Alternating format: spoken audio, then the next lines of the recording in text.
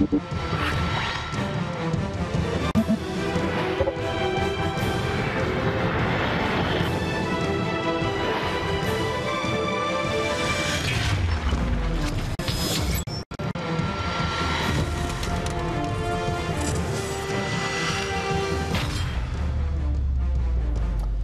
بكم أعزائي المشاهدين إلى هذه الحلقة الجديدة من برنامج لعبة الأمم عبر قناة الميادين. قبل نحو أسبوعين تحدث الرئيسان الأمريكي والروسي هاتفيا واتفقا على لقاء قريب. ثم فجأة تدهورت العلاقات إلى أدنى مستوى بين روسيا وأمريكا.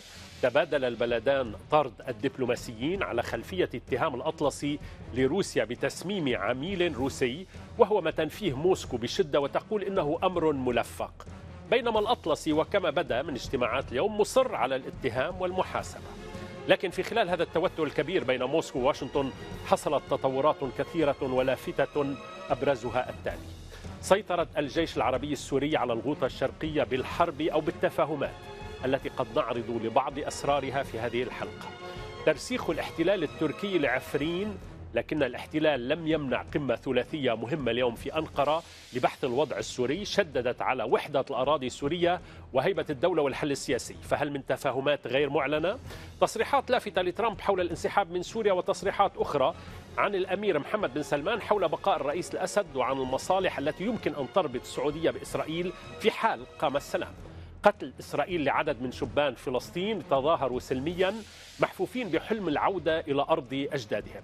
قمة روسية قطرية تزامنت تقريبا مع قمة سعودية أمريكية. إطلاق صواريخ دقيقة من اليمن على السعودية. محاكمة الرئيس الفرنسي السابق نيكولا ساركوزي بتهمة الحصول على أموال من القذافي قبل التورط في تسهيل قتله. لا شك أننا أمام تحولات مفصلية في هذا الشرق المثخن بالجراح. ولذلك نسأل هل ثمة صراع حقيقي بين الأطلس وروسيا؟ تجلى بقضية تسميم العميل الروسي أم نحن أمام رسم معالم جديدة للمنطقة وخطوط تماس؟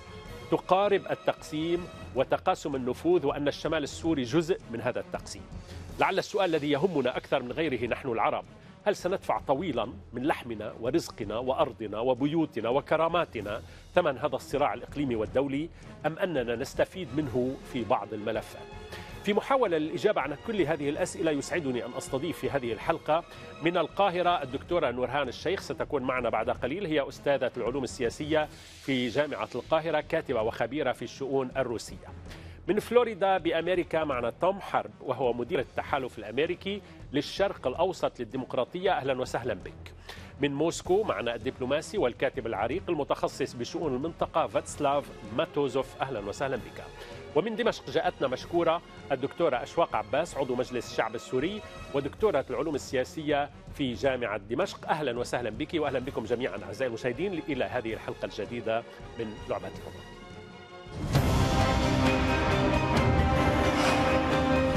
that Russia was responsible for this reckless and despicable act. Ответим, не сомневайтесь, потому что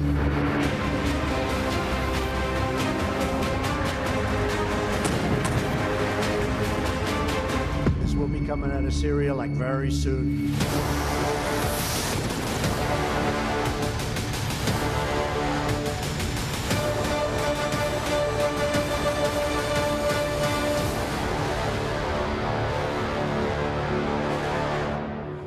أهلا وسهلا بكم جميعا واهلا بضيوفي الكرام آه، عادة يجب أن نبدأ بالنساء ولكن هناك أخبار كثيرة الليلة في الواقع من واشنطن ومن تركيا يجب أن نبدأ بها لذلك سأتوجه إلى فلوريدا. السيد توم حرب معنا من هناك. أهلا وسهلا بك سيد توم حرب في الواقع تصريحات ومعلومات كثيرة متضاربة حول قرار الرئيس الأمريكي دونالد ترامب بالانسحاب من سوريا. البيت الأبيض يقول أنه تم التأكيد على هذا الانسحاب لأنه مهمة القضاء على داعش انتهت تقريبا. بعض الوسائل الإعلام تقول أنه الرئيس ترامب ربما تراجع عن هذا القرار بعد اجتماع مجلس الأمن القومي. أريد أن أسألك ما هي حقيقة الموقف هل فعلا اتخذ قراره بالانسحاب من سوريا؟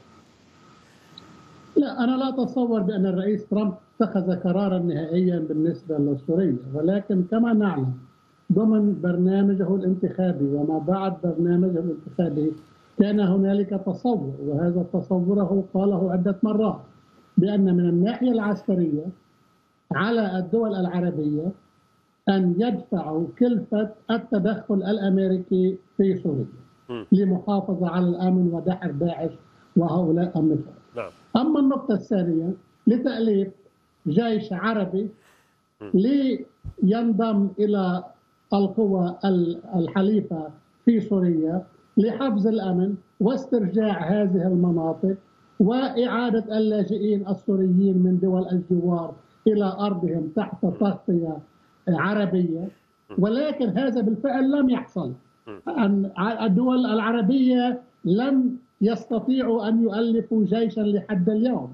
ولم يدفعوا أي مبلغ للإدارة الأمريكية لإدارة ترامب على كلفة وجود الجنود الأمريكيين هنالك. فالذي فعله هو قام إنه put the issue على الطاولة. we are نحن نحن سننسحب. إذ لم تقوموا بواجبكم. صحيح سيد طمحان سيد طمحان صحيح اسمح لي بالمقاطعة. كما ما تفضلت به هو عاد وكرر أنه السعودية تتفهم موقفنا وإن أرادت أن نبقى فعليها أن تدفع. ولكن ليست فتيشة كما تقول أو هكذا يعني كلمة عابرة رماها لأنه البيت الأبيض الليلة بعد اجتماع آه، ترامب مع آه، آه، فريقه الأمن القومي يقول حرفيا مهمة الجيش الأمريكي شارفت على الانتهاء إن قتال داعش يوشك على الانتهاء لكن ليس بصورة تامة. مدير المخابرات الوطنية الأمريكي يقول إن أمريكا توصلت إلى قرار الانسحاب محتمل للقوات الأمريكية من سوريا وأن الإعلان عن ذلك أمر وشيك. الواشنطن بوست تقول ترامب أعطى تعليمات للقادة العسكريين للإعداد لهذا الانسحاب لكنه لم يحدد موعدا. الوحيد الذي يقول كلاما مغايرا هو قائد القيادة العسكرية المركزية لأمريكا. يجب أن تؤدي أمريكا دورا على المدى الطويل في سوريا فيما يتعلق بالإستقرار في المناطق المستعادة من التنظيم. إذا كأنه القرار مركزي صار وليس كلمة عابرة عند الرئيس ترامب. لا هو هو لحد اليوم بعد ما حدد الانسحاب أيه. وطبعا الدول العربية اليوم جميعهم إنه صار اتصالات بين الرئيس الأمريكي والدول الأمريكي والدول العربية للتهدئة عن ال ال الانسحاب الفوري لأنه كمان يخاف مثل ما صار انسحاب أمريكي بعد الرئيس أوباما من العراق بال 2011 وداعش عادت وتغلغلت بالمنطقة. فهلا ترجع داعش تتغلغل بالمنطقة. وخاصة النفوذ الإيراني والنفوذ الروسي سيزداد بشكل بشكل واضح بسوريا وبدون شك يعني تركيا. تركيا كذلك الأمر هي حليفة بالحلف الأطلسي وعندها أطماع بشمال سوريا. بعد ما قدرت تحدد مواقفها والخطوط الحمر ووضعوهم إن كانوا الأمريكان بشرق الفرات والتدخل الفرنسي الأسبوع الماضي بمنطقة منبج ودول الجنوب. أوكي. دكتورة أشواق عندك تعليق على الكلام الأمريكي وعلى ما تفضل به ضيفنا من فلوريدا؟ نعم عندي تعليق سريع. يعني بداية يمكن أن توصف كلمات ترامب واسمح لي أن أستخدم تعبير قد يكون يعني آه، يعني خادش أحيانا يعني هو بالكذب يمكن وصفه بالكذب لأنه من الواضح جدا أن ترامب يدير آه، ما تبقى من آه، استثمارات في الحرب على سوريا أو في الأزمة السورية بعقل رجل الأعمال. هو يريد الآن أن تدفع السعودية فاتورة جديدة. هو يلوح بخطر الخروج من المنطقة. عليكم أن تقابلوا أنتم هذا المحور الجديد ضد الإرهاب هو إيران سوريا وروسيا. السعودية تخشى هذا المحور لذلك سيدفع هذا هذه التهديدات ستدفع العاهل السعودي أو الملك السعودي أو كل يعني خلينا نقول من يدير السياسة في في السعودية إلى الإسراع والهرولة لدفع هذه الفاتورة. لذلك أستطيع أن أقرن هذه الفكرة مع تصريحات ولي العهد السعودي اليوم تجاه إسرائيل والغزل مع إسرائيل. أي أننا يمكن لنا أن نجد تحالف آخر. أعتقد أن ترامب سيبقى سيبقي القوات لكنه بحاجة لمن يمول من جديد استمرار آه، تمويل آه، ما تبقى من الأزمة في سوريا والحرب على سوريا الأمير محمد بن سلمان قال أيضا أنه الرئيس الأسد باق يعني كأنه السعودية تقول أيضا للأمريكي طيب فليبقى. إذا نحن ربما لن نستطيع هذا أن الكلام هذا الكلام صحيح. هو أبلغ بأنه لن تكون هناك تسوية آه، وفق الطموحات السعودية السابقة. ما أنتجه الواقع الميدان السوري الميدان العسكري السوري والتحالف ضد الإرهاب.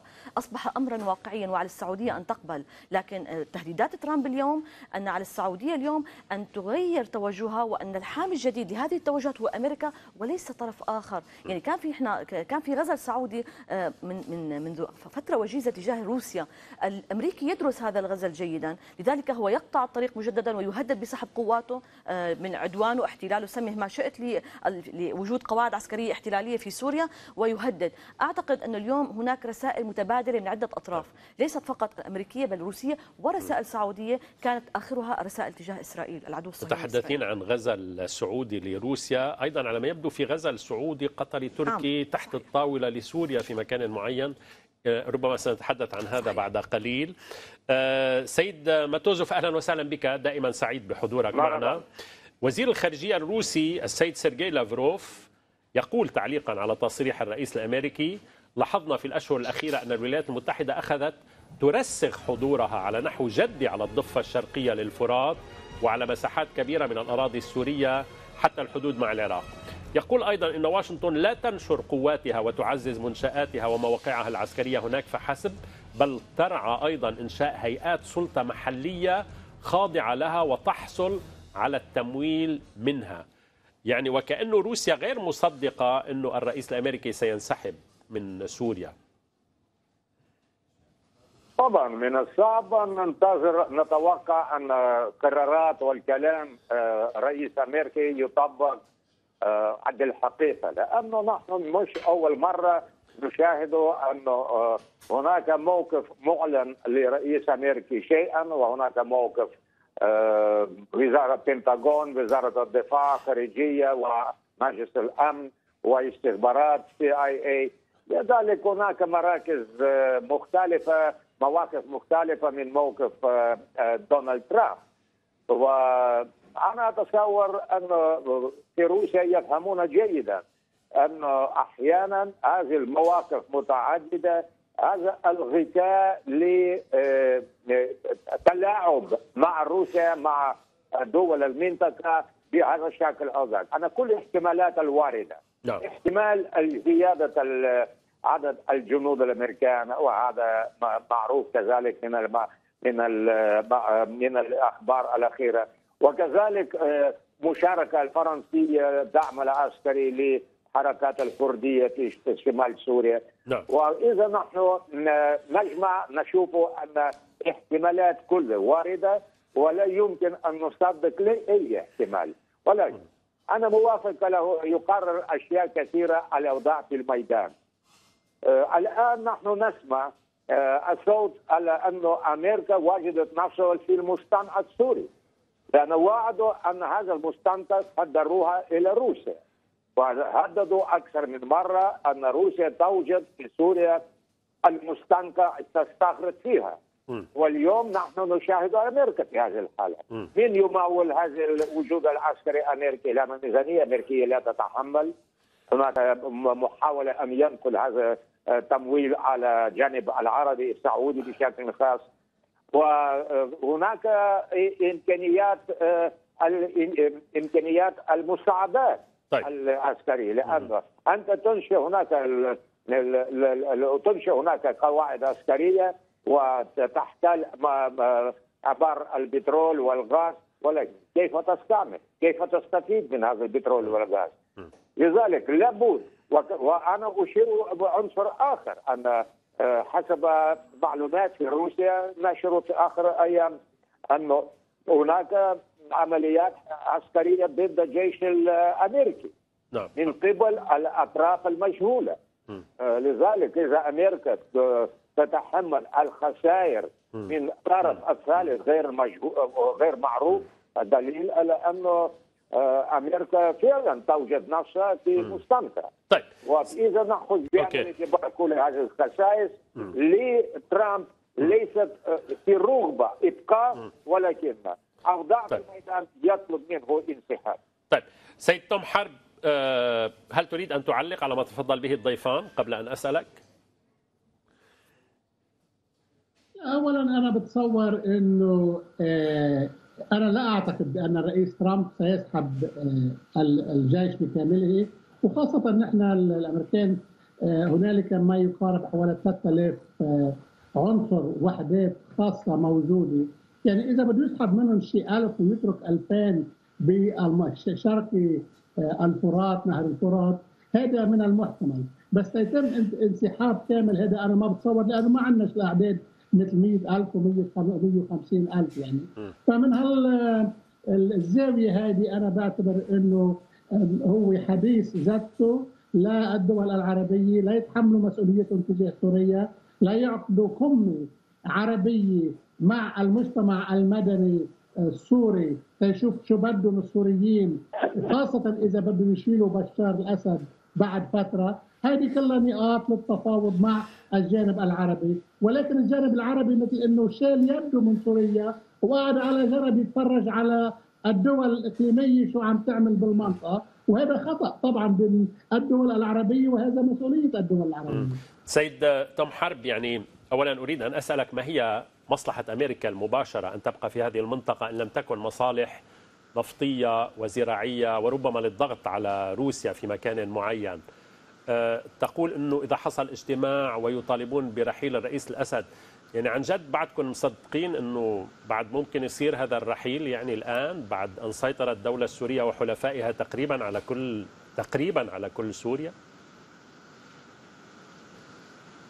هذا مش لمصلحة الدول الغربية، طيب. الدول الغربية عايشة بديمقراطية وسلام وكل أربع سنين بغيروا الرئيس وعندهم أمن وسلام.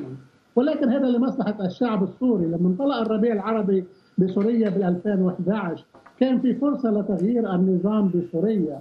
ولكن لسوء الحظ تدخلوا مجموعات من جميع المعيارات إن كانت أصولية أم غير أصولية واستغلوا الظرف. وطلع ضعيف بال بال بالعملية كلها هو الشعب السوري. يعني ما في نظام بقي أكثر من 20 سنة وشاف خير لبلده. النظام بسوريا ونظام بشار الأسد وقبل منه بيو الحزب البعث جاب الويلات والقمع والإرهاب وغزا الإرهاب.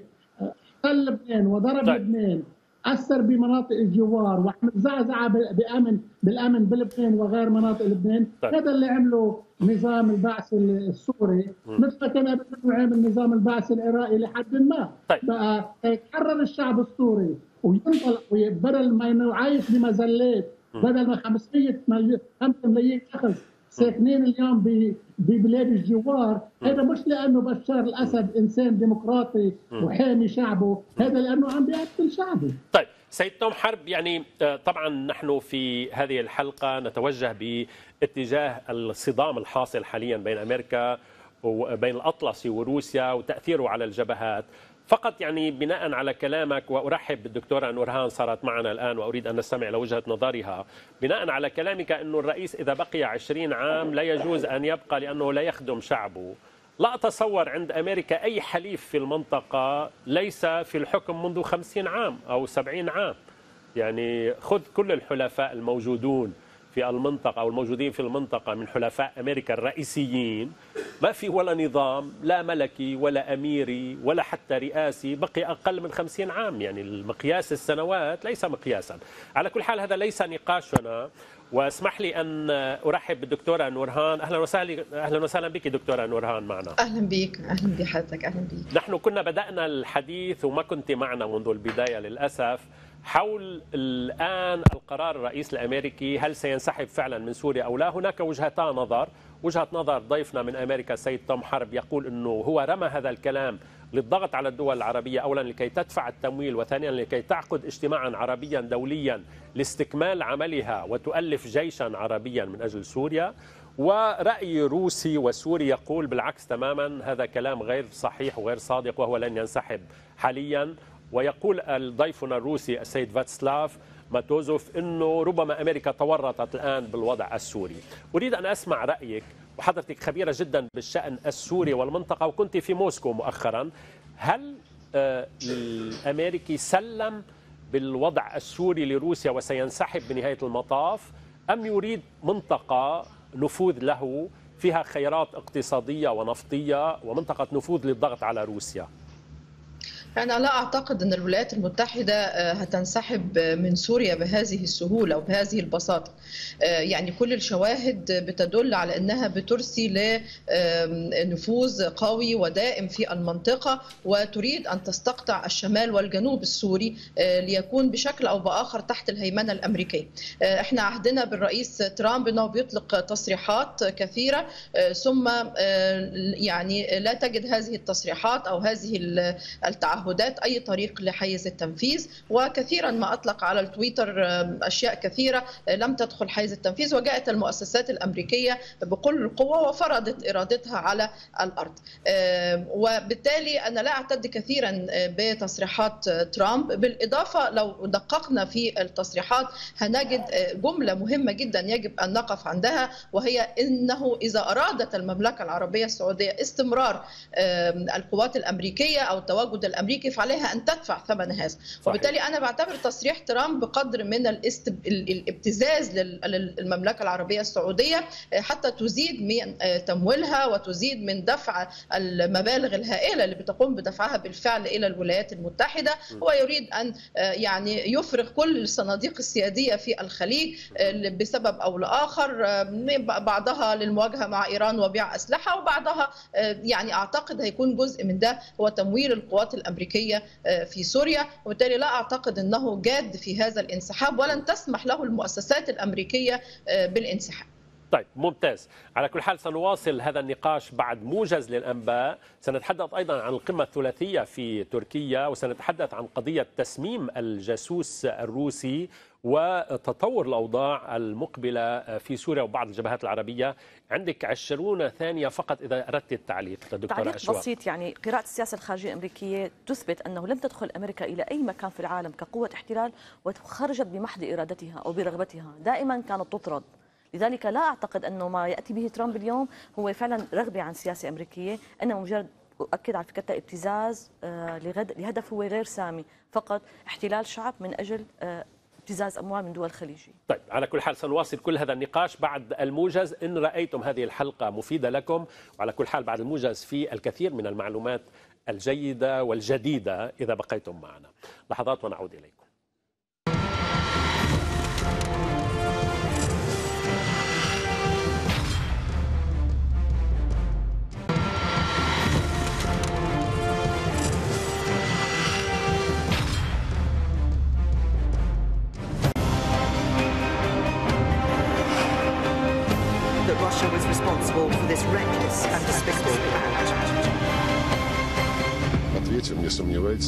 что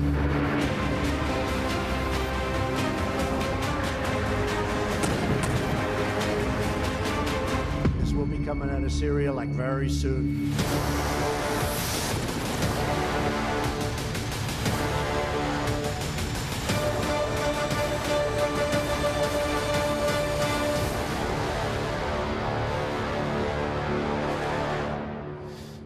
أهلا بكم مجددا أعزائي المشاهدين مواصلة هذه الحلقة من لعبة الأمم عبر قناة الميادين. نتحدث فيها عن الصدام الروسي الأطلسي الحاصل حاليا وتأثيره على بعض الجبهات العربية. وقد تحدثنا قليلا عن موضوع هل ينسحب الأمريكي من سوريا أم لا. هناك آراء متضاربة في النصف الأول من هذه الحلقة. أعود وأرحب بضيوفي الكرام من القاهرة الدكتورة نورهان الشيخ من فلوريدا السيد توم حرب. من موسكو الكاتب آه، متخصص في شؤون المنطقة فاتشلاف ماتوزوف ومن دمشق الدكتورة أشواق عباس عضو مجلس الشعب السوري أستاذة العلوم السياسية معنا هنا الآن في الاستوديو. أهلا وسهلا بكم جميعا مجددا.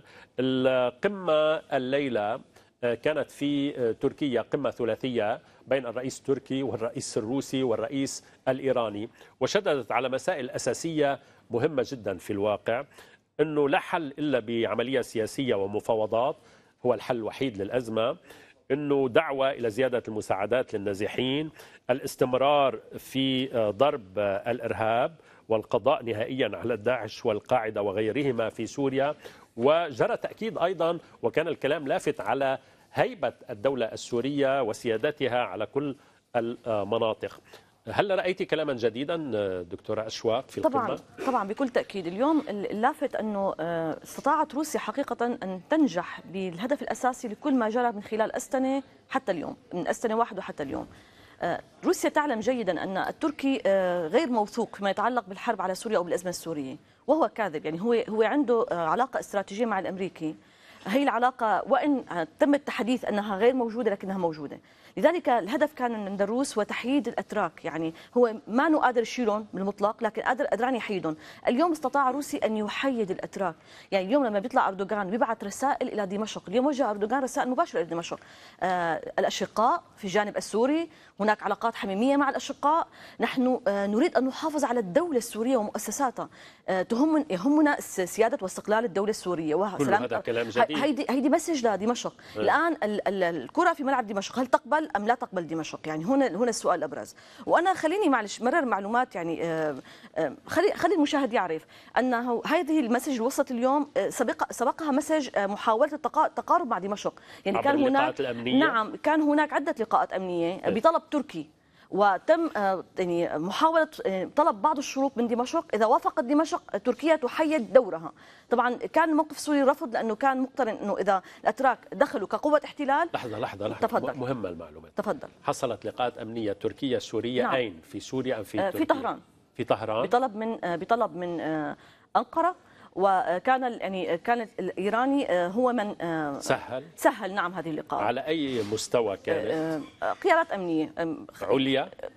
قيادات أمنية. نقف عند كلمة قيادات أمنية لقاءات أمنية. يعني على آه. مستوى اللواء علي المملوك آه، يعني بغض النظر بغض النظر أستاذ سامي آه، لقاءات أمنية أوكي. سواء على أعلى مستوى أو على مستوى متوسط المهم أن هذه اللقاءات طيب، عقدت طيب. بطلب ما الذي طلب في هذه اللقاءات كان المطلوب أنه أن تقف دمشق مع أنقرة في ما يسمى يعني خلينا نسميها القتال مع الإكراد طيب. يعني بمعنى تركيا خائفة من وجود دولة كردية طبعا هي تعلم أن دمشق متمسكة بكل أراضيها وحده سلامه الأراضي السورية فحاولت أن تلعب على هذا الوتر فكان الرد السوري أنه آه، آه، ممنوع منعا باتا أن تدخل تركيا كقوة احتلال. في حال دخول الأتراك بجحافل العسكرية فسوريا ودمشق ستقف حكما مع الاكراد لأنه بالنهاية هذول مواطنين سوريين نحن لسنا مع انفصالهم لكن هذول مواطنين وسندافع عنهم. وهذا ما جرى تماما. عندما قررت تركيا أن لا تستجيب دخلت بقوات غازية محتلة ذهبت دمشق وأرسلت قوات شعبية للدفاع عنها. لكن تركيا احتلت نعم احتلت نعم احتلت يعني لو في يعني قرار اسمحي لي لو في قرار روسي إيراني سوري جاد كان صار مواجهة أكبر؟ أه، لا أعتقد أن أي دولة من الدول لا روسيا ولا إيران الآن مع اندلاع أه، مواجهة جديدة في المنطقة. okay. سوريا لا لم تعد تحتمل هي أولا. اثنين هناك يعني مفترض أن هناك مقاومة شعبية. النقطة الثالثة بدي مررها أن ما جرى في عفرين هو باتفاق أمريكي تركي. يعني أمريكا قدمت عفرين لقمة سائغة للإتراك. وكأن المواطن الكردي يعني غرب نهر الفرات هو غير آه، شرق نهر الفرات آه، خليني أطرح الفكرة التالية أستاذ سامي. آه، ما الذي يعني تمثله عفرين من قيام دولة كردية على سبيل المثال؟ انفصال الأكراد. هي منطقة صغيرة جدا. الخطورة هي في منطقة شرق ضفة نهر الفرات وليس في الغرب. إذا الأمريكيين قدموا هذه المنطقة كي تظهر تركيا أنها حاربت هذا المشروع الانفصالي وأن هذه هذه القوات التركية تسعى إلى الحفاظ على الخط ترسخ أقدامها نعم في شرق وبالتالي الفرات. قدمتها جائزة طرديه للأتراك هذا أوكي. ما جرى حقيقة يعني هو نعم. مقدمة نعم. للاستمرار التركي الأمريكي في شرق الفرات هذا ما تريد يعني أن خليني أستخدم الفكرة التالية لا ليست مقدمة الأمريكي لن يغادر آه، كما أعلن ترامب آه، هناك طرق أخرى لإجبار الأمريكي على الخروج من من سوريا لكن الأمريكي لا يريد أن يخرج لكن هو يريد أن يصرف أنظار أردوغان عن هذه المنطقة وأعطاه عفرين. آه، خلينا نسميه شماعة أمام الرأي العام أنه حارب قيام هذه الدولة انه هو دخل لأنه عم يعلن أنه أنا عم بدخل آه، خوفا من قيام هذه الدولة اللي هي بتهدد خطر تركيا. لذلك. اليوم أردوغان مرر العباره التاليه يعني سبحان مغير الأحوال أستاذ سامي. تحدث عن مجموعات إرهابية. تهدد سوريا ودول الجوار. لم يعد يتحدث عن ما يسميه أو ما أعلنه بالقوات أو الثورات الشعبية في بداية اليوم هو هناك تغير كثيرا يعني كان لذلك أنا اسمح لي نعم اسمح لي أنا بس مرر يعني تعليقا على ما تحدث به ضيفك من واشنطن. يعني وكأن الإنسانية أصبحت شماعة يعني هيك آه، بهبطة شوي. كثير كثير بنحكي عن عن الأكراد في غرب. لا لا يهمونا في غرب الفرات لكن في شرق الفرات تهم الدولة الأمريكية. آه، من نسمح بقتل السوريين تحت شعار الديمقراطية وأن ليس لديهم إلا حزب واحد وفي أمريكا لا يوجد إلا حزبين يتنافسان السلطة. بنحكي عن الموت بسوريا بس ما بنحكي عن الموت باليمن ولا الموت بالعراق ولا الموت بليبيا ولا الموت في في فلسطين. أعتقد أن اليوم يعني المؤشرات الواقع تفرز حقيقة الخطابات السياسية للدول الكبرى ولم يعد هناك مجال للشعارات الرنانه طيب على كل حال لكي لا نذهب بالحلقة باتجاهات أخرى يعني كما أوقفت السيد توم حرب أنا أسمح لنفسي أيضا بالتوقف دون أن ندخل في اتهام اتهام مباشر رديت عليه بشكل مناسب ممتاز. السيد ماتوزوف هل لديكم علم بالمعلومة الأولى التي قدمتها الدكتورة أشواق؟ لقاءات أمنية سورية تركية على الأرض الإيرانية هل لدى روسيا مثل هذا الاحتمال؟ وهل روسيا تعمل على لقاء تركي روسي عمليا؟ تركي سوري عفوا. آه، أنا لا أشك أن أحد أهم النقاط في هذا الاجتماع. هذا كانت محاولة تقارب موقف تركي مع موقف الدول المشاركة أخرى وهي إيران روسيا وسوريا. لأن بغض النظر أن تركيا تتعاون مع إيران مع روسيا هناك موقف خاص بخصوص سوريا. اليوم نحن لاحظنا طبعا أنا موافق على هذا تغيير آه، في موقف تركي. وهذا نقطة مهمة جدا. ولذلك اللقاءات بين آه، لقاءات بين ممثلين من سوريا مع ممثلين من آه، إيران هذا هو الطريقة الوحيدة لمعالجة هذا هذا التوتر اللي نحن نشاهده. ونحن سمعنا الآن تصريحات من رئيس روحاني الذي قال وهو يعلق على نتائج اللقاء في تركيا أن اتفقوا ثلاثة أطراف بأن يحموا يحموا الوحدة الإقليمية لسوريا نعم شو يعني هذا؟ هذا يعني أن الطرف. الرابع وهو الولايات المتحدة الأمريكية الذي تتمسك بأراضي ليست لديهم أساس الشرعي وليست لديها الدعم من قبل الدول المشاركة طيب. ولكن آه، نقطة مهمة لا شك أن هي تقارب موقف تركي مع موقف آه، دول الثلاثة إيران روسيا وسوريا. طيب. إذا نحن ننجح في هذا المجال آه، هناك الحاجة ملحة بالنسبة لتركيا. لأن أمن القومي تركي على حدود مع سوريا ضد أي منظمات إرهابية يا كردية يا داعش يا نصرة يمكن أن يصير فقط بالتق... على طريقة تقوية السلطة السورية ولا غيرها. أن يكون السلطة آه، السورية ضعيفة كل آه، منظمات المسلحة سوف يشتغل من أرض سوريا ضد تركيا. وأنا أظن أن أردوغان لازم أن يفهم هذه الحقيقة. والأوضاع وطبعا آه، ارتباطاته مع الأمريكان في خلف الشمال الأطلسي يؤثر على موقف تركيا. ولذلك اللقاء الثلاثي الاخير هو له كانت أهمية كبيرة لكي يتجاوزوا تلك الجهود الأمريكية. الذي آه، يعتبروا أنهم متفاهمين آه، خلق التركي ولكن في نفس طيب. الوقت يؤيدون استقلالية قرار الكردي. على كل حال هذا الكلام كان واضح. هذا الكلام كان واضح سيد آه، ماتوزوف أنه استقلالية الدولة السورية سيادة الدولة السورية هيبة الدولة السورية كلام عمليا جديد يعني ويوافق عليه التركي أو حتى ينطق به هذا كلام جديد. سيد طم حرب هل آه، تبعت قليلا القمة الثلاثية في تركيا؟ هل تشعرون أنها موجهة ضد الأمريكي أم أنها جزء من الحل السياسي وبالنهاية سيعود التفاهم الروسي الأمريكي بنهاية المطاف لأنه تحدثوا أيضا أنه لا حل إلا بالحل السياسي عمليا. جاوبك على هذه النقطة بالذات بس احكي لها القصير بهالربع ساعة الماضية بس بدي أعمل تعليقات. تفضل التعليق الأول آه، طالب ضيفتك الدكتورة أشواق إنه الأمريكي دائما يطعن الأمريكي طبعا انسحب من بلدين أساسيين في تاريخه هو فيتنام والعراق. وما قدر يحقق النجاح اللي المفروض كان يتحقق. وإنما محل ما بقي الأمريكاني والشعب طلب إنه يبقى بألمانيا من 60 سنة لليوم ألمانيا عندها رابع اقتصاد في العالم. محل ما بقي بإيطاليا إيطاليا عندها الثامن اقتصاد بالعالم محل ما باقي له 50 سنة بكوريا الجنوبيه كوريا عندها عاشر اقتصاد بالعالم. يعني نعمة محل ما بيبقى الأمريكاني موجود سيحمي أمن ويعزز اقتصاد العراق طلبوا من الأمريكاني سيبقى كان بيكون عندهم افضل اقتصاد مش اقتصاد بدرجة 70 بال درجة 70 بالاقتصاد العالمي. أما بده يتغذى من إيران بدرجة 120 بالدرجات العالمية أما بسوريا بدرجة 160 من اقتصاد العالم.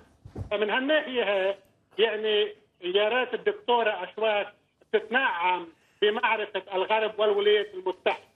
أما النقطة الثانية أما النقطة الثانية وهي النقطة إنه الروس والاتفاق اليوم مع مع تركيا ومع إيران. يعني لو إنه نحن بالنتيجة بدنا نعرف الشعب السوري شو بده. يعني بعد سبع سنين معارك أنا ما بتصور الشعب السوري راضي على أي اتفاق جانبي أحادي من قبل إيران وتركيا والروس وخاصة هن الأنظمة اللي هدموا سوريا على الشعب السوري بعد في خمس ملايين لاجئ ببلاد الجوار. وإنما الخوف من هذا الاتفاق هو شو عم بيحطوا للشعب السوري؟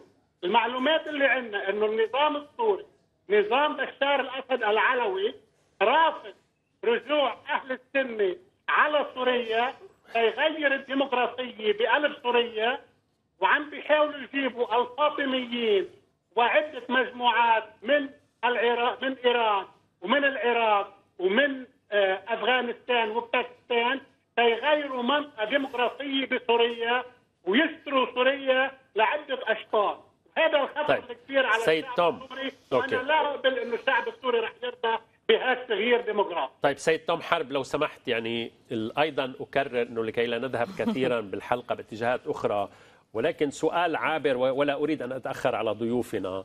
سؤال اسمح لي فيه عابر يعني دائما تتحدثون عن الشعب السوري والشعب السوري وماذا يريد الشعب السوري.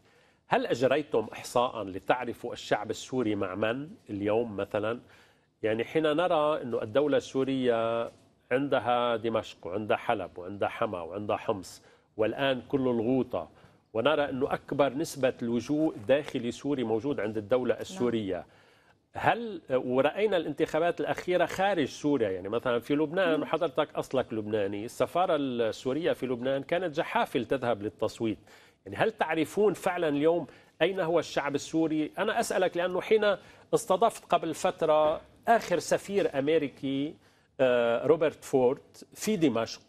قال نحن أخطأنا في كل شيء ونراجع كل سياستنا وإنه الرئيس السوري ربح المعركة وإنه أمريكا ستترك الكرد يوما ما. إن هذا كلام أمريكي كان وليس كلاما سوريا. إيه. إيه، جواب بسيط بسهوله أكبر استفتاء هو 5 ملايين لاجئ سوري بالأردن وبلبنان وبتركيا ومليون لاجئ سوري باوروبا طيب. إذا الوضع آمن بسوريا وهن راضيين على نظام بشار الأسد okay. كانوا بمارس 24 ساعة بيرجعوا على سوريا طيب القمة الثلاثية القمة الثلاثية القمه إيه؟ القمة الثلاثية هي خطر م. لأنه هي قمة أحادية بدون مشاركة الدول العربية الدول العربية المفروض يشاركوا بإعادة الأعمار هن بدهم يصيغوا مع الشعب السوري وممثلين على المجتمع المدني شو بده الشعب السوري مش ممكن نظام له 40 سنة 45 سنة هو كسر براميل على شعبه كسر براميل على شعبه يقدر يستمر ويقول أنا بدي أرجع عمر سوريا. مش ممكن ما صارت بعد ولا بأي دولة في العالم تصير بسوريا. بجوز طيب. يروح على حل سياسي ولكن هذا ليس حل أوكي. للشعب السوري. طيب. يعني كمان أريد فقط تعليق أنه في 80 دولة أرسلت ارهابا إلى سوريا. لا, لا أدري لماذا التركيز فقط على طرف واحد. على كل حال السيد دكتورة نورهان آه، الآن في قمة ثلاثية. لا أدري إذا كنت تبعتيها اليوم. وحضرتك آه، قلت دائما في كل المقابلات الأخيرة لك إنه لا يمكن أن نعود إلى الحرب الباردة وإنه لا يمكن أن تصل روسيا إلى مواجهة مع أمريكا. هل القمة التي حصلت اليوم بدأت ترسم محورا جديدا أوسع خصوصا أنه اللعب على المذهب وعلى الطوائف الآن ينكسر شيئا فشيئا. نرى الإيراني زعيم دولة غالبيتها شيعية مع الرئيس التركي زعيم دولة غالبيتها سنة مع الرئيس الروسي وكأنه وأيضا الرئيس الروسي علاقات ممتازة مع الرئيس المصري وحضرتك أشدت فيها مؤخرا علاقات ممتازة الآن مع الرئيس القطري. كأنه نرى رسم أحلاف جديدة في المنطقة. يعني أنا عايزة أقول حاجة أستاذ تامي إن إحنا في حاجة بنسميها التغيير المئوي طيب. بمعنى إن كل 100 عام آه، بتحدث آه، تطورات بتؤدي إلى يعني حدث أو أحداث كبرى ترسم السياسة لباقي القرن. يعني في القرن أواخر القرن ال 18 وأوائل القرن 19 كانت الحروب النابليونية ومؤتمر يعني الكونغرس اوف فيينا أو مؤتمر فيينا 1815 أوائل القرن العشرين كانت الحرب العالمية الأولى اللي هي رسمت في واقع الأمر خريطة ما للقوى وادخلت الولايات المتحدة للساحة الدولية هي لم تكن أساسا فاعل دولي قبل الحرب العالمية الأولى. وبالتالي يعني أنا من وجهة نظري أن الثورات العربية اللي اندلعت في 2011 دي الحدث الكبير اللي هو غير الحقيقة كثيرا في معادلات القوى والتحالفات. وإن إحنا في هذه المرحلة اللي هي التغيير المئوي آه، اللي هي في غضون آه، سنة أو اثنين يعني على 2019 2020 آه، هتبان هذه الخريطة من التحالفات. بالتأكيد روسيا وإيران والعراق ولبنان أنا بعتبر أيضا لبنان لأن حزب الله قوى سياسية هامة وهي حليف في هذا المحور. هذا محور تأكد بالفعل. وجود التركي الحقيقة تاريخ تركيا كله لم تكن دائما على ثبات مع التحالفات. في لحظة كانت حليف لبريطانيا ثم انقلبت عليها وذهبت للألمان. يعني التركي طول عمره الحقيقة يعني صعب إن إحنا نحسب يعني نحسبه على فريق آه، ضد آخر بيغير تحالفاته في آخر لحظة بشكل برجماتي جدا. لكن المرحلة الحالية الحقيقة بتؤسس زي ما قلت التحالفات هتمتد لفترة آه، طويلة خريطة مهمة جدا. أعتقد إن العالم العربي لم يستوعب هذه التغيرات بعد وما زال يراهن على دور أمريكي قوي في حين أنا من وجهة نظري إن هذا الدور الأمريكي بيتقلص بيتراجع الولايات المتحدة في حالة ارتباك شديدة بتعاني من أزمات كثيرة أزمات اقتصادية أزمات اجتماعية هي لن لن يعني تتفكك على كما حدث الاتحاد السوفيتي ربما ولكنها بالتأكيد بتتراجع في حين أن دور روسيا الاتحادية بيتضح وبيزداد قوة في الشرق الأوسط وعلى المستوى العالمي. دور الصين أيضا آه، صاعد وبيزداد قوة. لكن يبدو زي ما قلت أن للأسف العرب لم يستوعبوا بعد هذه التغيرات وما زالوا يراهنوا رهانات. أنا من وجهة نظري هيثبت آه، خطاها كما راهنوا على فكرة من قبل. يعني في مراحل التغير المئوي دائما كانت رهاناتنا إحنا العرب آه، لم تكن سليمة. وطبعا يعني هناك العديد من الشواهد والأحداث اللي بتؤكد هذا. وبالتالي أنا أعتقد أن هذه فعلا خريطة مهمة للتحالفات وجود التركي في هذه اللحظة مهم جدا لأنه فاعل هام على الأرض آه، تركيا ساندت العديد من الجماعات الإرهابية في سوريا ومولتها ودربتها وما زالت في إدلب مشكلة كبيرة نتيجة خروج هؤلاء الإرهابيين آه، وعودتهم من وإلى. نعم. تركيا والإمدادات نعم. اللي بتجيلهم من تركيا وبالتالي مشاركة تركيا مشاركة هامة هذه القمة الثلاثية آه، أنا من وجهة نظري حيوية جدا لأنها الثانية آه، لأن الأولى كانت في سوتشي في 22 صح. نوفمبر وبالتالي هي القمة الثانية فهذا تأكيد لهذا الثلاثي الإقليمي صحيح. والدولي الهام آه، إلى جانب المخرجات الهامة آه، لها ويعني اليوم بحثوا مسألة اللجنة الدستورية وأنا بعتبر صحيح. ان مسألة اللجنة الدستورية دي مهمة جدا صحيح. لو بنتحدث فعلا عن حل سلمي لسوريا صحيح جدا معك حق لأنه حتى الرئيس فلاديمير بوتين في حديثه مع حديث طويل شي ست سبع ساعات مع أحد أشهر السينمائيين الأمريكيين قال حرفيا أنه سيكون هناك تعديل للدستور إذا حصلت أدت المفاوضات إلى تقدم سياسي مهم ولبل يعني تحدث عن احتمال إجراء انتخابات رئاسية سابقة لأوانها. تتحدثين عن تغيير كل مئة عام. للأسف الشديد كل العالم يتغير كل مئة عام إلا العرب. كل مئة عام بيرجعوا مئة عام للخلف أو ألف عام للأسف الشديد. طيب دكتورة أشواق الغوطة كانت أساس فيما يحصل الآن من تطورات وحتى جزء من التدهور العلاقة الأمريكية الروسية وجزء من القمة التي عقدت الآن في آه، آه، أنقرة هل كان يمكن أن يحصل ما حصل في الآونة الأخيرة بدون تواصل مباشر أو غير مباشر سوري تركي كما تفضلتي ولكن أيضا سوري قطري سوري سعودي هل يحصل شيء في هذا الاتجاه؟ طيب أنا بعرف إنه أنت ما بدك تأخذ البرنامج لجهه بس أنا وجهت لي دعوة بس خليني نجاوب على الدعوة بعدين بجاوبك على السؤال. والسؤال هذا اليوم هو محور حتى يعني أنا أعتقد إنه اللي صار اليوم بأنقرة هو نتاج ما جرى في الغوطة. نعم. آه، فعلا مسار سوتشي آه، لقاء هدول الدول الضامنه رسخ ولن يسمح له بالعودة إلى الوراء ابدا. لذلك اليوم نحن أمام اللقاء الثاني للدول الضامنة. صحيح. لكن بدي أنا أجاوب على الدعوة. أنا بتشكر ضيفك من فلوريدا. أنا لا أقبل الدعوة لا يعني ما بدي أتنعم بهالنعمة لأنه ما بقدر أشوف مئات الملايين عشرات الملايين حول العالم. دعوة نعم إنه لا اتنعم بالنعمة الأمريكية هي الديمقراطية ودي ما أولاد بلدي والفلسطينية واليمنية والعراقية آه، ملوثة. لذلك شكرا ما بدي أخليه هو يتنعم لحاله.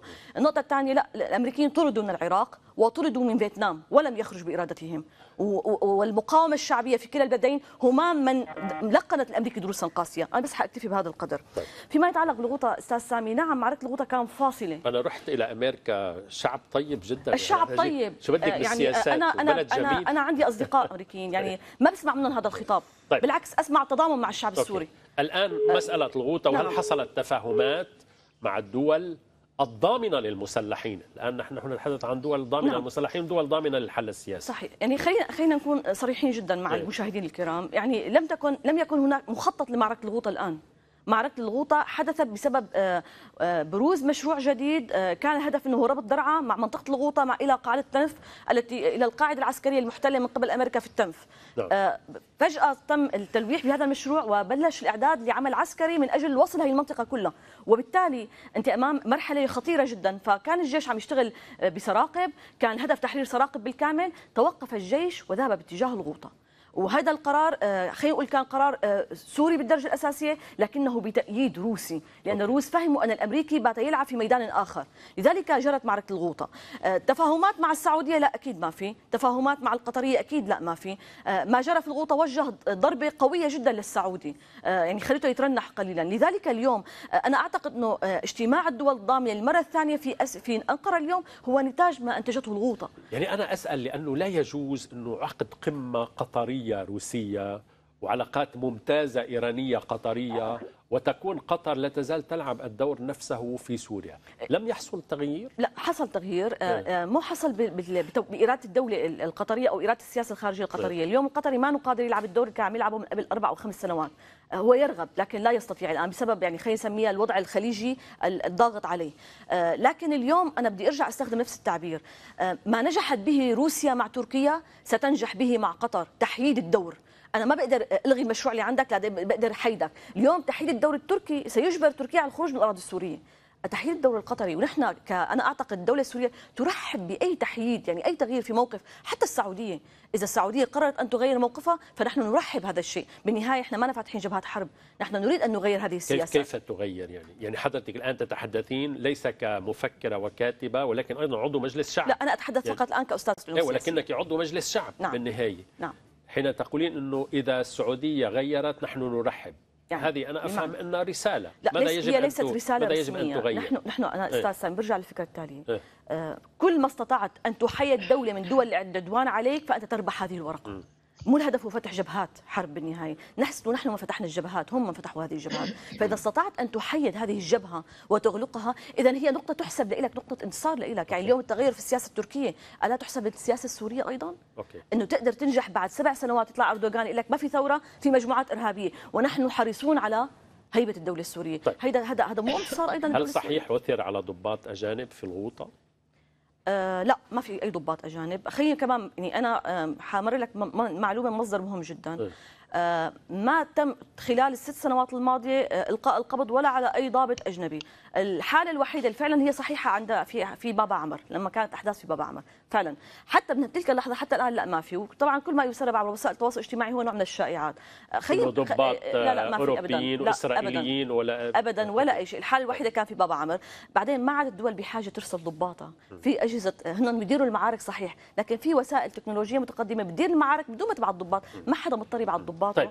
ويهدد نحن نفهم من القمه التركيه اليوم أيضا في إعادة تفعيل لسوتشي وربما لاجتماعات أخرى في أنقرة في إيران الان فتحت الأبواب سوتشي يعني. أعتقد اليوم القمة أه. هدفها تطبيق وحكى okay. حكى بوتين آه، ممكن تنفتح مسارات ثانية يعني إذا أين مثلا؟ ممكن تنفتح هلا الأتراك طرحوا مسار أنقرة الإيرانيين طرحوا مسار آخر طهران كلها مسارات داعمة داعمة للحوار يعني لو فتح مسار في أنقرة تذهب سوري؟ هذا قرار الحكومة السورية حينذاك حسب الضمانات التركية okay. وما هو الموقف السياسي. طيب. خلينا نوصل أيضا الفكرة التالية. لن تقبل سوريا أنا باعتقادي الشخصي إعادة أي علاقات مع أي دولة إذا تحت الخفاء أو غير مباشر على الدولة أن تعلن رسميا أنها مع الدولة السورية إنها أنها تعمل خلينا نسميها علاقات رسمية مع الدولة السورية. عندها تصبح يمكن إمكانية فتح نقاش هل نعود إلى العلاقات أم لا نعود إلى العلاقات. okay على كل حال بعد قليل ربما سنرى على الشاشة أيضا ما كتبت صحيفة لوموند عن بعض التواصل الذي حصل مع دول الأوروبية. آه، سيد ماتوزوف اعذرني تأخرت عليك لأنه قيل لي انقطع الخط ولم يقولوا لي أنك عدت معنا. فأود أن أسألك أيضا عن مسألة الشمال السوري التي تحدثت عنها الدكتورة نورهان والدكتورة أشواق أيضا. أرسل لي الصحافي علي جمالو وهو من منطقة إدلب المعلومات التالية. يقول أن الاحتلال التركي يتقدم عسكريا بتوافق إيراني روسي علني مكشوف في عمق الأراضي السورية الممتدة من نهر الفرات إلى نهر العاص وبعمق نحو الجنوب يتراوح ب 20 كيلومتر. يشمل الاحتلال كافة المناطق الممتدة من شمال حما إلى جنوب حلب من الأوتوستراد الدولي شرقا إلى السفوح الشرقية لسلسلة جبال الساحل أي جميع مدن محافظة إدلب وعشرات القرى والبلدات المنتشرة في أخصب بقاع الأرض قاطبة من جبل السماق إلى جبل الأربعين إلى الجبل الوسطاني بمساحة توازي حجم مساحة لبنان. ليس صحيحا أن الأمريكي سينسحب إنما هذه دعوة لذبح الكرد وأن دور المقاتلين الذين يتم تجميعهم حاليا في إدلب يعني كمان الذين ذهبوا من الغوطة هو لقتال الكرد نيابا عن تركيا وهذه هي المرحلة الثانية من تفكيك المنطقة هل توافق على مثل هذا التحليل؟ أنا أعتبر أن لا يوجد هناك الروم ولا إيران ولا روسيا ولا سوريا لتدخل التركي هذا قضية أفرين كانت واضحة. أن عرضوا على أكراد في أفرين أن يتعاونوا مع السلطة السورية مع الجيش العربي السوري. رفضوا رفضوا تحت الضغط الأمريكي. ولا شك أن بديل لهذا التفاهم كردي سوري السلطة السورية هو ضرب التركي. وأنا أعتبر أنه ليس هناك تشجيع لتدخل التركي. ولكن تفاهم بنوع ما لما يعمله تركيا في أراضي سوريا آه، موجود. آه، ولذلك كانوا يتركزون خلال لقاءات وفي سوتشي وفي أستانا وزراء الخارجية واليوم في آه، في تركيا. رؤساء الدول الثلاثة يتركزون على ضمانات لتركيا التزامها لسياده الدولة السوريه على كل الأراضي السورية. لأن هذا نقطة خطيرة ليست لسوريا فقط. هذا نقطة خطيرة لتركيا. إذا تركيا اليوم تشجع التقوية المواقف الرجاوة في الضفة الشرقية تحت بطلب أمريكي أو برعاية أمريكية بكرة هذا التطورات من هذا النقطة تنتقل إلى الداخل التركي أنا أتصور أن تركيا آه، متفاهمة مش مشجعة بما يعمل في افرين ولكن هذا نتيجة ليست من آه، إرادة تركيه أما هذا نتيجة أعمال القيادة الكردية في افرين وإذا رفضوا تعاون إذا رفضوا التعايش مع السلطة السورية آه، تركيا دخلت طيب ولكن سيد ماتوزوف سيد ماتوزوف يعني أنا لو كنت محل الكردي في تلك المنطقة سأقول تخلى عني الروسي وتخلى عني الأمريكي وتركت لي مصيري عمليا. يعني في غض طرف وفي تفاهم ضمني حصل في مكان ما. لا ابدا. لأن هناك السلطة السورية. اذا أنتم؟ تعترفوا شرعيه السلطة السورية؟ أنتم أحرار. لازم أن تفهموا هذا. وإذا أنتم لا تعترفوا شرعيه السلطه السوريه تعترفوا آه، صحه آه، قرارات الأمريكية والآن تستلموا آه، السلاح الجديد من فرنسا أنتم تواجهوا السلطة الشرعية. طيب سيد سيد ماتوزوف okay. okay. اسمح لي أع... okay. okay. اسمح لي أعود إلى نقطة أثارها سيد توم حرب وهي مهمة جدا في الواقع. إنه تحصل هذه الاجتماعات الثلاثية عندك الروسي عندك الإيراني عندك التركي لا يوجد أي عربي في هذه القمم. ونحن نتحدث عن حل سياسي في دولة عربية مركزية لعلها من أقدم دمشق من أقدم عواصم العالم. إذا دولة لها تاريخ ولها حضارة وهي قلب العروبة كانت ولا تزال. طيب هذه الاجتماعات كلها تحصل بدون وجود عربي تحصل بدون وجود سوري. طيب الأمر الثاني أنه تركيا تحتل جزءا من الأرض السورية. ونرى الروسي والإيراني يعني يعقدان معها قمة في تركيا. يعني لم نعد نفهم أين هو الحليف وأين هو الخصم وأين هو العدو في هذه الحرب السورية. لذلك أنا أسأل طب ما الذي كان يمنع مثلا أن تعقد قمة بنهاية برعاية آه، روسية في روسيا وتكون رباعية ويكون فيها الرئيس الأسد مثلا هو الرئيس الرابع طبعا آه، رئيس رئيس سوري هو لا تزال موجود.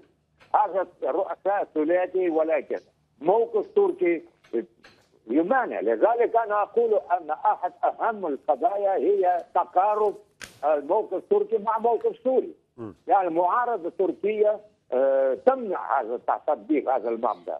وأنا أظن أن غياب الدول العربية آه، مع الاسف الشديد هذا لا يلعب دورا كبيرا لأنه آه، عرب كان من الممكن أن يلعبوا دورا كبيرا لأنه عرب تتعرض ل كما أنا أقول إغراق في ديمقراطية أمريكية.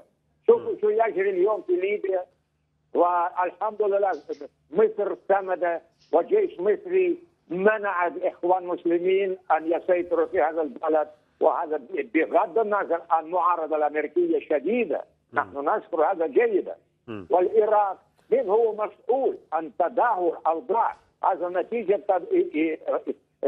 زرع الديمقراطية. هذا نتيجه هذا مطلوب من سوريا. كذلك لذلك طيب. كل هذه الشعارات حول ضرورة احترام okay. أصول الديمقراطيه طيب. في سوريا هذا كلام فاضي مضمون طيب. هناك دستور okay. الجديد وعلى أساس هذا الدستور الذي أمريكا لا علاقة مع أمريكا تعارض طيب. أمريكا كانت مدعوة لأستانا وين هي ولا في أستانا طيب. ولا في سوتشي طيب طيب أنا على كل حال قبل أن أسأل السيد توم حرب والموضوع الأساسي الآن سبب الصدام بين روسيا وبين الأطلسي تسميم اتهام روسيا بتسميم عميل روسي ونفي روسي عن ذلك. فقط اسمح لي سيد توم أنه أسأل الدكتورة آه، نورهان أين مصر من إعادة العلاقات مع سوريا ورفع المستوى إلى درجة علاقات دبلوماسية؟ يعني رأينا إذا شاهدنا على الشاشة صحيفة لوموند رأينا قبل فترة وزير الخارجية السوري وليد المعلم في زيارة رسمية إلى سلطنة عمان لافتتاح سفارة وعمليا يعني العلاقات ممتازة. في بعض الدول العربية يوجد سفير حتى ولو كان غير معلن. رئيس جهاز الأمن القومي اللواء علي المملوك وفق صحيفة لوموند كما نشاهد على الشاشة. آه، آه، زار في الآونة الأخيرة إيطاليا وهناك علاقات ودول تطلب من الدولة السورية فتح علاقات معها تحت الطاولة. الدولة السورية تقول إذا أردتم علاقات ارفعوا إلى مستوى دبلوماسي علني. لا نريد علاقات أمنية فقط. طيب مصر أنه اجتماع يحصل إيراني روسي تركي. مصر غائبة. لا يزال حتى اليوم الجيش السوري يعتبر الجيش الأول بالنسبة للجيش المصري. الرئيس السيسي عبر مرات عديدة عن مواقف إيجابية حول الموضوع. ما الذي يمنع إعادة العلاقات؟ يعني أنا عايزة أؤكد لحضرتك أستاذ سامي إن مصر فعلا يهمها وحدة سوريا سلامة سوريا. ما يحدث الحقيقة في سوريا من القضاء على الإرهاب ده بيصب مباشرة في الأمن القومي المصري. صحيح. مصر ما لهاش مصلحة اطلاقا في ما كان يحدث في سوريا. تفكيك سوريا كارثي يعني أمر كارثي بالنسبة لمصر. صحيح. هذا النزوح الإرهابي اللي بيطلع من سوريا يعني إلى أين سيذهب هؤلاء الإرهابيين؟ هم دلوقتي بيتجهوا إلى إدلب أو إلى جرابلس أو غيره. لكن ماذا بعد؟ عندما تحرر هذه المناطق وما وحتى هذه اللحظة البعض منهم بينزح إلى مصر وليبيا. وليبيا أيضا خطر كبير بالنسبة لمصر. وبالتالي يعني الأكيد أن مصر مع وحدة الأراضي السورية مع دولة سورية قوية مع استعادة الاستقرار في سوريا والأمن في سوريا مع القضاء التام على الإرهابيين جميعا في سوريا بلا استثناء. هي ضد السياسة التركية وحتى تعلم أن ان العلاقات التركية المصرية علاقات صحيح. متوترة جدا وشائكه جدا صحيح. يعني مصر بالكامل مع سوريا ولكن يعني التحالفات الإقليمية المصرية في اللحظة الراهنة يعني بتجعل مصر بتحاول أنها تقيم بعض التوازنات. يعني بالتأكيد الموقف السعودي والإماراتي موقف بيؤخذ في الاعتبار بالنسبة لمصر وبالذات الموقف السعودي. يعني أنا أتذكر في بداية قيام الضربات الروسية عندما قام وزير الخارجية المصري بتأييد الضربة أو يعني أبدى أن هذا هذه الضربات تصب في المصلحة صحيح. المصرية انزعجت المملكة العربية السعودية وأيضا الإمارات ويعني ابدوا تحفظا على مثل هذه التصريحات وبالتالي ربما هناك صمت مصري قليلا في هذه المرحلة لكن زي ما قلت الاعتبارات وموائمات صحيح. تخص التحالفات الأخرى لكن بالتأكيد مصر بتدعم كل الخطوات الروسية والسوريه وأنا أتمنى شخصيا أن تعود سوريا إلى مقعدها في الجامعة العربية أتمنى أوكي. أن القمة القادمة في 15 إبريل تكون يعني سوريا حاضرة لأنه لا يجوز ابدا أن دولة بحجم سوريا وتاريخها العربي إنها تظل مستبعدة من جماعة الدول العربية وهي دولة صحيح. مؤسسة فيها يعني. صحيح. على كل حال القائمان بالأعمال الدبلوماسيان العريقان سيد محمد ثروت في دمشق والدكتور رياض سنيح في في مصر يقومان عمليا تقريبا بعمل سفير وربما أكثر بقليل. تحية لهما. طيب السيد توم حرب الآن نعود إلى جوهر المشكلة. قضية تسميم الجاسوس الروسي طرد دبلوماسيين روس. دول أوروبية عديدة انضمت إلى أمريكا وبريطانيا في هذه المسألة. ولكن حتى الآن يبدو لا يوجد أي دليل واحد حقيقي حول تورط روسيا سوى اتهامات وتنفى من قبل روسيا ولكن ينفيها أيضا بعض التحاليل الطبية التي تحصل. هل لدى أمريكا دليل واحد فعلي على أم كانت ذريعة بسبب ملفات أخرى في العالم مع روسيا؟ لا مش ذريعة بس قبل ما أجاوبك على هذا السؤال بالضبط بدي اوضح نقطة كمان. الدكتورة عندك بالاستوديو قالت إنه عفرين كانت بيد الأمريكان وسلموها للأتراك. طيب. كل العالم بيعرفوا ما عدا ظاهر النظام بسوريا إنه عفرين كانت مع الروس وهن اللي سلموها للأتراك، الأتراك كان لهم فترة تركوا شمال سوريا ورجعوا على سوريا من خلال ما الروس سلموها. okay. سلموا عفرين لأنه لوجستيا الأمريكان ما بيقدروا كانوا على عفرين أما بموضوع التسمم يعني هو التوضيحات اجت طبعا من المخابرات الانجليزيه البريطانيه قال إنه هذا الدليل اللي عندنا. وأكدوا للأمريكان إنه هذا الدليل. هلأ بالنتيجة صار في الرسائل اللي انبعثت من الولايات المتحدة كانوا ثلاث رسائل لروسيا. إنه ما بتقدري روسيا وعظمتك تروحي تخرقي أمن دول الغرب والحليفة لنا وثاني رسالة إنه نحن جميعا كلنا متفقين على أي تهديد وين ما حاولتي تعمليه إن كان بأوروبا الشرقية أما الغربية نحن كلنا متفقين. وثالث رساله أنا بتصور الأمريكان حاولوا يعطوها للحلفاء بالدول الغربية إنه نحن رايحين على إلغاء الاتفاق مع إيران. ومثل ما نحن تضامنا معك يا بريطانيا عليك أنت يا بريطانيا ودول الغرب تتضامنوا معنا بإلغاء الاتفاق النووي مع إيران. مهم هيدا التوضيح سيد توم حرب. على كل حال قبل أن نستمع إلى وجهة نظر آه، آه، روسيا ولكن أيضا الدكتورة نورهان لأنه عندها آه، رأي مهم بهذا الموضوع والدكتورة أشواق. فقط تقرير سريع من مراسلنا في لندن يعرض لنا آخر ما وصلت إليه التحقيقات فيما يخص قضية العميل المزدوج سيرجي سكريبال. مختبر بورتون داون التابع لوزارة الدفاع البريطانية يؤكد عدم امتلاكه دليلا على أن مادة نوفيتشوك المعدة للعمليات العسكرية التي استخدمت في تسميم العميل سيرجي سكريبال وابنته مصدرها روسيا. تطور يكذب الرواية الرسمية البريطانية ولا سيما تصريح وزير الخارجية بوريس جونسون الذي كان قد حسم على نحو قاطع في وقت سابق لصحيفة ألمانية بأن معمل بورتون داون أكد له ضلوع روسيا في تسميم العميل سكريبال. عملنا يقتصر على تزويد الجهات المختصة بالأدلة العلمية بشأن طبيعة الغاز العصبي هذا. ولقد توصلنا إلى أنه جزء من تصنيف معين وهو نوفيتشوك وأنه بدرجة عسكرية. لكن وظيفتنا لا تتضمن تحديد موقع تصنيعه. الخارجية البريطانية اعترفت بحذفها تغريدة على موقع تويتر. كانت تزعم أن الخبراء البريطانيين أوضحوا أن غاز الأعصاب أنتج في روسيا. في المقابل سارعت الحكومة البريطانية إلى إصدار بيان تصر فيه على موقفها بشأن ضلوع روسيا في محاولة اغتيال العميل سكريبال موضحة أن تقديرات معمل بورتن داون هي مجرد جزء من الصورة الاستخبارية.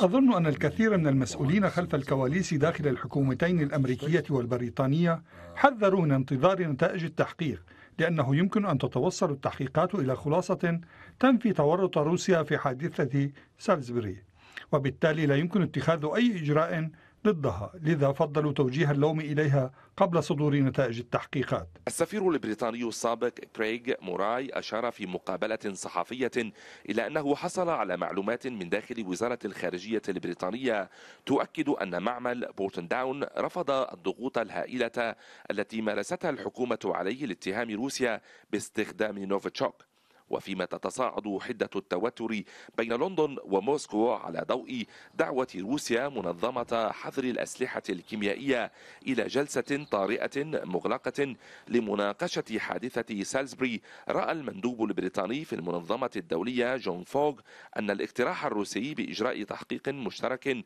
أمر غير منطقي. وهو تكتيك روسي للتضليل يسعى إلى تجنب السلطات الروسية الإجابة عن الأسئلة المطلوبة. موسى سرور لندن الميادين. شكرا موسى سرور. سيد ماتوزوف تعليق عندك دقيقة فقط ليس أكثر. تفضل. طبعا روسيا آه، لا تعرف أي تحركات آه، عن اتهاماتها للمواد الكيميائية. ونحن نسجل. إحنا تزامن. تتقدم جيش العربي السوري في غوطه شرقية. تبرز هناك موضوع الكيميائي في ضد روسيا. تتقدم في حمص وحلب هناك آه، شعيرات. وتتقدم في آه، منطقة آه، حلب. هناك غوطه شرقية. إذا نحن نأخذ بتاريخ الكل اتهامات نعم. مرتبط بالاسلحه الكيماويه نحن نوجد. okay. هذين قضيتين مترابطتين okay. تقدم جيش العربي السوري واتهامات يا سوريا وروسيا يا روسيا بهذا المواد الكيماويه okay. أنا أعتبر أن بريطانيا مرتبطه اتهامات بريطانية مرتبطة مع فشل. السياسة الامريكيه في سوريا okay. فشلا كاملا طيب دكتورة نورهان قلت في مقابلة لك مؤخرا قضية الجاسوس الروسي في تقديري مفتعلة وهدفها الأساسي تشويه صورة روسيا وحشد الرأي العام العالمي ضدها قبيل الانتخابات الرئاسية الروسية. وكنت حضرتك في آه، روسيا بشهر شباط فبراير حين قلت هذا الكلام على ما أعتقد. وتوقعت آنذاك نجاحا باهرا للرئيس الروسي. يعني بالفعل يعني هي أنا أعتقد إنها أزمة آه، مفتعلة.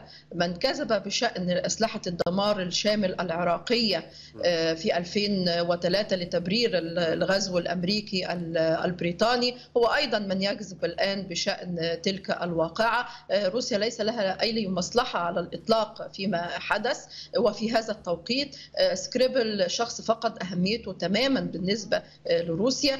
ثم أنه يقيم منذ 2010 في بريطانيا. وروسيا التي سلمته الحقيقة في واقع صحيح. الأمر آه، للغرب وبالتالي ليس لديها أي مصلحة okay. في حين أن هناك مصالح آه، بريطانية حيوية آه، في هذا الملف ليس فقط تشويه سمعة روسيا والنيل منها والحد من تدفق المشجعين على روسيا ولكن أيضا الضغط على روسيا طيب. في الملف النووي الإيراني شكرا. شكرا روسيا هي الداعم الأساسي وهي يعني نقدر نقول الظهير الدولي الأساسي نعم. آه، فيما آه، يرسم ويخطط له الرئيس ترامب لنقد الاتفاق أوكي. النووي. وبالتالي أعتقد إن هذا أيضا جزء من المشكلة.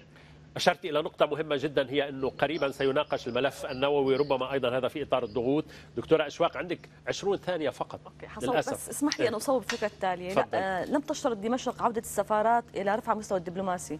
هناك طلبات من دول غربية حتى بفتح سفاراتها بالمستوى الدبلوماسي والقنصلي.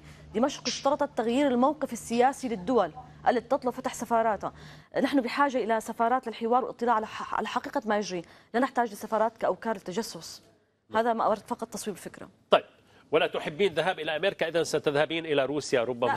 هو هو طلب انه اتنعم بالنعمه الأمريكية وليس شكرا. زيارة. شكرا أستاذ شكرا لك. شكرا لضيوفي الكرام. للأسف انتهى الوقت كالمعتاد الوقت سريع على التلفزيون. لمن يريد الكتابة لهذا البرنامج هذه هي العناوين على الفيسبوك وأيضا على موقع الميادين. يمكن الكتابة إليها لأنه وردتني بعض الرسائل تقول نكتب لكم لا تردون ويبدو انه البعض أنشأ صفحات باسمي واسم البرنامج وهي ليست صحيحة. هذه هي الصفحات الصحيحة. شاهدوها بشكل جيد وسأرحب بكل رسائلكم شكرا جزيلا لكم شكرا لضيوفي الكرام إلى اللقاء في الأسبوع المقبل مع حلقة جديدة من لعبة الأمم إن شاء الله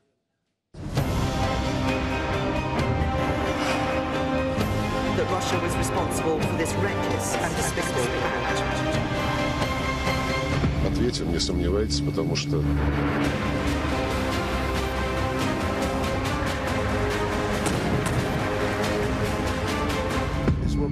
Assyria like very soon.